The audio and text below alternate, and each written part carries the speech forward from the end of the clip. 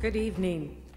First, I have to tell you how inspired we are by the accomplishments of the family businesses that have been recognized this evening. You know, it's really our honor to be among you.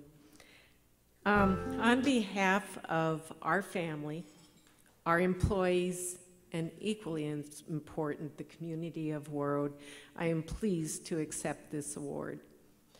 Tonight, in calling out community service, Twin City Business and Hubler are shining a light on the importance of businesses' responsibility to our communities. Thank you for doing so. There's tremendous strength that grows from the very important relationship between the community and the company. For us, it's foundational, it's fundamental. As mentioned, ours truly is a family business. Today, there are 14 third and fourth generation family members employed full time in the company. Many of them are here this evening, starting with my older and wiser brother, uh, Frank, his wife, Marg, my favorite sister, Peg, my husband, and six of the greatest nephews and nieces you can imagine. They're right over here. Um, but there are many, many more who share this honor. In recognizing our family business, you're also recognizing our employees. Multiple generations of our friends and neighbors work with us in serving our customers in our community. It's why we come to work in the morning, and it may be why we're being recognized this evening.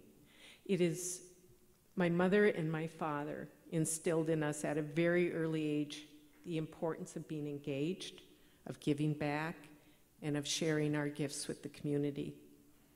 They taught us that along with the privilege of operating a business comes a responsibility to others. Our parents were wise because our business is only sustainable if our community is vital and strong. Their wisdom found their way into our core purpose, and our core purpose, the reason we exist at all, is to contribute to the long-term viabilities and communities in which we work.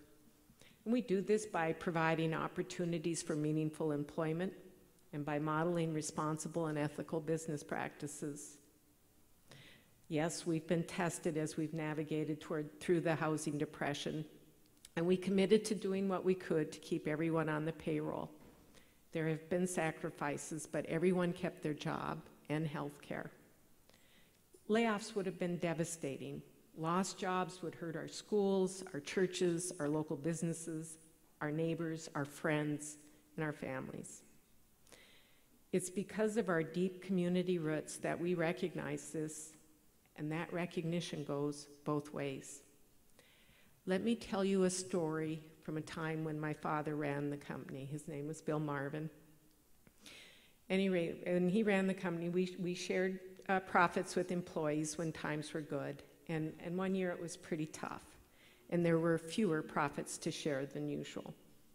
As my father took the stage at an annual meeting, an employee named Rex Clay stepped forward and he asked if he could have the mic.